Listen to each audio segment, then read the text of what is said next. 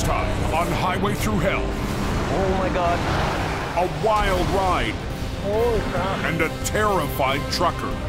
I'm upside down in the ditch over here. Then I'm gonna give you my advice. I'm gonna ignore it.